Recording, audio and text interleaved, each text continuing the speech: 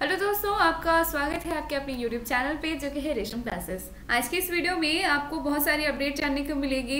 इग्नू ने जो नोटिस जारी किए हैं, उसके बारे में रिज़ल्ट है, और उसके साथ साथ ही हर एक स्टूडेंट के लिए कुछ ना कुछ। क्योंकि मैं अपने वीडियोज़ में ये ट्राई करती हूँ कि हर एक स्टूडेंट को सारी इन्फॉर्मेशन मिल जाए, चाहे कोई भी न्यू कमर स्टूडेंट हो या फिर आप रिज़ल्ट की तलाश कर रहे हैं एग्जामिनेशन की भी सारी अपडेट जो कि सिर्फ़ हमारे चैनल पर सबसे पहले मिलती है। तो प्लीज़ चैनल को सब्सक्राइब ज़रूर कीजिएगा। लेकिन इसी के साथ मैं आपसे और एक रिक्वेस्ट करना चाहती हूँ। Just visit my another channel doctor Arohi health care क्योंकि यहाँ पे भी आपको बहुत सारी चीज़ें जानने को मिलेगी। अक्सर बहुत सारे लोग बहुत सारी चीज़ें किसी से कह नहीं पाते। अपनी पर्सनल प्रॉब्लम्स की सारी सॉल्यूशन प्लीज़ ज़रूर विज़िट कीजिएगा चैनल को। चैनल का लिंक कमेंट सेक्शन में आपको ज़रूर मिल जाएगा। चलिए बात करते हैं इग्नू की तरफ़ से, जो लेटेस्ट अपडेट आई है और नोटिफिकेशंस की भी। नोटिफिकेशंस और उसके साथ साथ ही एग्जामिनेशंस फॉर्म की भी बात हम करेंगे और उसी के साथ साथ ही आपके रिज़ल्ट के बारे में। दोस्तों, आप में से कितने सारे स्टूडेंट हैं जो चाहते हैं कि आप सबका प्रमोशन हो जाए? यानी कि फ़िलहाल तो फ़र्स्ट ईयर का प्रमोशन हो चुका है सेकेंड ईयर के विद्यार्थी कर रहे हैं वेट तो क्या आप चाहते हैं कि आपको प्रमोशन मिले? एंड कितने सारे स्टूडेंट हैं जो ये चाहते हैं कि बिना किसी भेदभाव के सारे स्टूडेंट को प्रमोट कर दिया जाए। अदरवाइज़ दिसंबर में एग्जामिनेशन लिया जाए, क्योंकि एग्जामिनेशंस को डिले करने का कोई मतलब नहीं बनता। इग्नो के स्टूडेंट्स के साथ वैसे भी नाइंसाफ़ी ये होती है कि उनका सेशन लेट होता है हमेशा ही, हमेशा की तरह। इग्नो में पास करना भी बहुत मुश्किल है। चलिए रिज़ल्ट की बात करते हैं तो री इवेल्यूशन का रिज़ल्ट पब्लिश हो चुका है। आप अपने रिज़ल्ट को ज़रूर से ज़रूर चेक कीजिए। री इवेल्यूशन में अगर आप पास हुए हैं तो फिर से आपको एग्जामिनेशन फॉर्म भरने की कोई ज़रूरत नहीं है। लेकिन अगर आप फेल हो चुके हैं तो दोस्तों हो जाइए तैयार। फिर से आपको अपना पेपर क्लियर करना पड़ेगा। नेक्स्ट अपडेट अगर हम बात करें आपके रिज़ल्ट की तो रेगुलर रिज़ल्ट भी आपका आ चुका है। वो सारे रिज़ल्ट जैसे कि मैं आपको बताऊँ तो आपके टर्म एंड एग्जामिनेशन के रिज़ल्ट भी आ चुके हैं। आप देखिए कि आपको कितने मार्क्स मिले हैं टर्म एंड एग्जामिनेशन के रिज़ल्ट में, क्योंकि इग्नू के दिए हुए मार्क्स से शायद ही कोई स्टूडेंट पूरी तरह से सेटिस्फाई हो पाता है। इग्नो स्टूडेंट से मेहनत तो बहुत कराते हैं, लेकिन उनको मार्क्स बहुत ही कम देते हैं। क्या आप इस बात से एग्री करते हो? तो एग्री करते हो तो कमेंट सेक्शन में ज़रूर लिखना।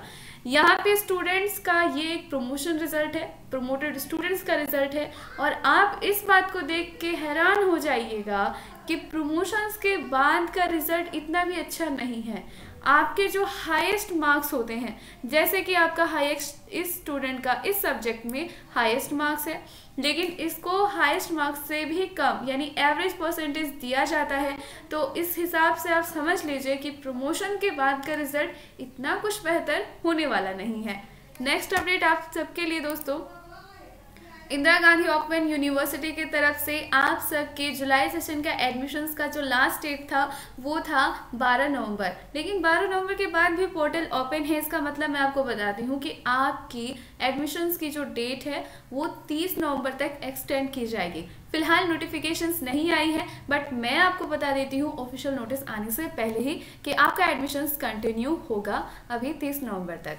नेक्स्ट अपडेट आप सबके लिए यही है कि इग्नू के तरफ़ से एक नोटिस जारी हुई है, जिसके बारे में यहाँ पे आपको कहा गया है कि आप अपने प्रोजेक्ट सबमिशंस को या फिर अपने जितने भी इंटर्नशिप को, उसको ऑनलाइन सबमिट करें। अब ऑनलाइन सबमिट करने से पहले दो तीन चीज़ों को ज़रूर याद रखिएगा। ऑनलाइन सबमिशंस या ऑफलाइन दोनों में बेटर कौन सा है? तो ऑनलाइन या ऑफलाइन अगर पॉसिबल हो तो आप ऑफलाइन जाके सबमिट करें और रिसिप्ट ज़रूर लें। अगर पॉसिबल नहीं है तो प्लीज़ ऑनलाइन भी आप सबमिट कर सकते हैं। इसमें कोई प्रॉब्लम नहीं है बट दो तीन चीज़ें जो इसमें आपको मेंशन की गई है ऑनलाइन जब भी आप सबमिट करते हैं तो उसके लिए अच्छे से डिटेल ज़रूर पढ़ें। ऑनलाइन सबमिशन करने में बहुत सारी चीज़ें, दिक्कतें भी आती हैं, क्योंकि सबके पास सुविधाएँ नहीं हैं बट आप जाके कैफ़े से ये सुविधा अवेलेबल करा सकते हैं। दोस्तों, ये चीज़ ध्यान में ज़रूर रखिएगा, जैसे ही ऑनलाइन आप सबमिट कराते हैं तो पीडीएफ बहुत अच्छे फॉर्म में बनाना होता है आपको। क्लियर होना चाहिए इमेज जो है क्लियर होनी चाहिए। दो तीन चीज़ें और हैं, यहाँ पे वो आपको ये सात चीज़ें ध्यान में रखनी होगी। नाम address enrolment number regional centre code course code ये सारी चीज़ें ज़रूर मेंशन कीजिएगा। और असाइनमेंट का जो फ्रंट पेज होता है, जिसमें डिटेल सारी मेंशन होती है, वो हर बार आपको अलग अलग पेपर में, यानी कि चार पेपर हैं तो चार पेपर के लिए अलग अलग आपको देना पड़ेगा। तो ये सारी चीज़ें आपको नोटिफाई करनी पड़ेगी। चलिए बात करते हैं आपके असाइनमेंट की। तो असाइनमेंट जो है असाइनमेंट का पेपर यहाँ पे आ चुका है। नेक्स्ट ईयर के लिए भी पेपर अपडेट हो चुके हैं। असाइनमेंट डाउनलोड कीजिए। हिंदी इंग्लिश किसी भी फॉर्मेट में डाउनलोड कर सकते हैं। असाइनमेंट को लिखने का तरीका अच्छे से कीजिएगा क्योंकि असाइनमेंट ही आपके रिज़ल्ट को बेहतर बनाता है। यहाँ पे आपको बात करें तो आपके एग्जामिनेशन की। एग्जामिनेशन के रिगार्डिंग एग्जामिनेशन फॉर्म जैसे कि अभी तक आ जाने चाहिए थे बट अभी तक एग्जामिनेशन फॉर्म इसलिए नहीं आया है जस्ट बिकॉज़ कि एग्जामिनेशन की जो डेट है, वो डिले हो रही है, यानी कि जनवरी में हो रही है। तो जनवरी में होने के कारण अभी तक आपके एग्जामिनेशन फॉर्म रिलीज़ नहीं हुए हैं।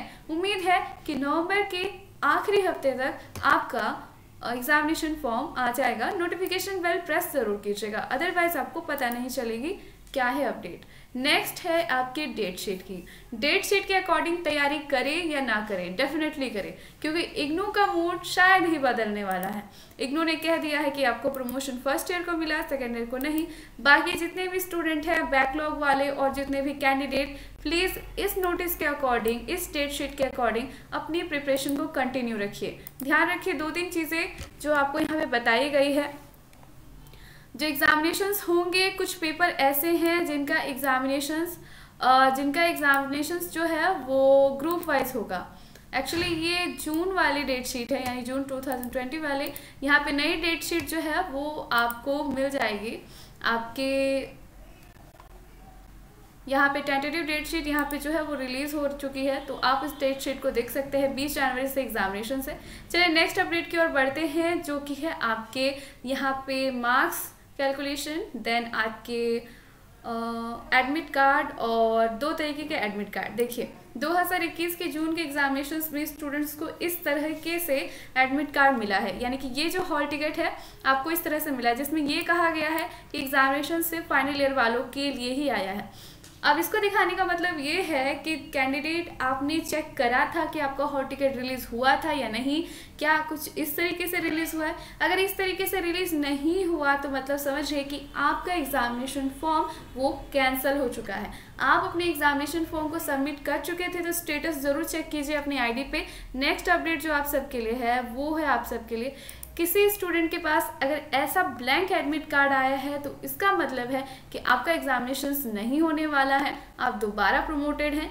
नेक्स्ट यहाँ पे मार्क्स कैलकुलेशंस की बात करें तो इसी तरह होता है इग्नू का मार्क्स कैलकुलेट इसी तरह से नंबर ऐड किए जाते हैं। आप चाहे जितना भी नंबर लाओ हंड अपने थ्योरी पेपर या फिर आपके असाइनमेंट में उसका टोटल अगर कैलकुलेशन किया जाए तो असाइनमेंट का जितना भी मार्क्स पे है, उससे थर्टी परसेंट और थ्योरी का सेवेंटी परसेंट लिया जाता है देन आपका सब टोटल किया जाता है तो इस तरीके से आपके परसेंटेज बनते हैं। तो दोस्तों, कैसे लगी वीडियो ज़रूर से ज़रूर कहिएगा और जी हाँ अपने सवाल कॉमेंट सेक्शन में ज़रूर लिखिए ताकि हम आपके टॉपिक पे वीडियो बना पाए। Thank you so much